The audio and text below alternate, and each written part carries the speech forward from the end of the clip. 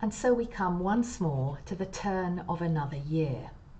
It can be a time for reflecting back on the year that's passed or looking ahead to the year that is to come. And no doubt this involves mixed emotions for all of us. The last year has been one of great challenge for us as individuals, communities, and nations. And of course, there have been times of joy and celebration too.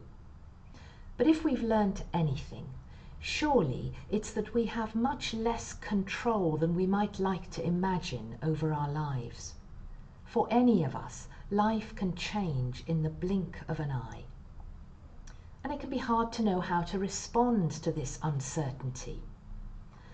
But for Christians, throughout everything, through all the ups and downs, prayer remains a constant, both a comfort and a mystery.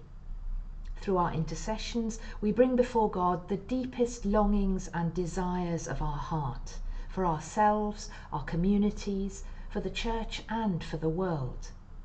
Through the gift of silence and contemplation, we can journey deeper into our understanding of God and the discovery of what we are each called to do and be.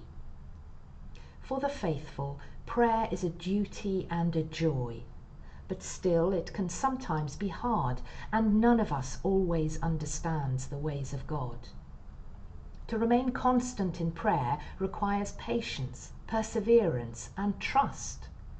By praying for one another and with one another, we ourselves can be shaped. Through prayer, we recognize our reliance on God, our need of each other, and our capacity to be catalysts for change. Christians and all people of goodwill are called to care for the world and for others. And for people of faith, there is no better way to begin than by bringing others before God in prayer. Giving thanks with those who rejoice and weeping with those who mourn.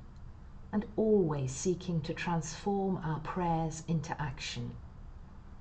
May this commitment to one another strengthen us in our relationships so that together we may be a witness to God's love and a force for good in our world.